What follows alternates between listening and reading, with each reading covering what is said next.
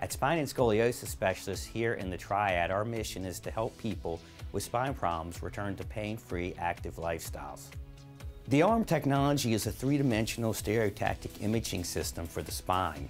It allows a surgeon working in the operating room to get real-time three-dimensional images of the spinal anatomy as we're operating.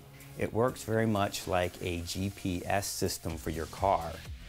An antenna is attached to the spine itself, and then a three-dimensional image, essentially a CT scan, is taken while in the operating room. Those images are then sent to a computer, and at that point, all of the instruments that we insert into the spine are then overlaid onto the three-dimensional image that we had taken earlier. The O-arm technology helps with accuracy by, again, allowing the surgeon to see the spine in three dimensions.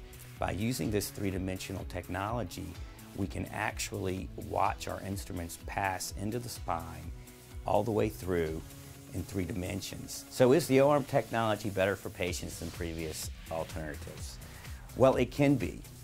The first thing to know about the O-arm is that it's not a procedure in of itself. As I mentioned earlier, it allows the surgeon to more confidently place instrumentation into the spine. When combined with newer technologies of minimally invasive surgery, we are able to make smaller incisions, and this often results in patients being able to go home from the hospital faster, returning to activity faster, and in sometimes returning to work faster. Spine and Scoliosis Specialist is the only medical practice devoted exclusively to spine treatment and surgery in the Triad.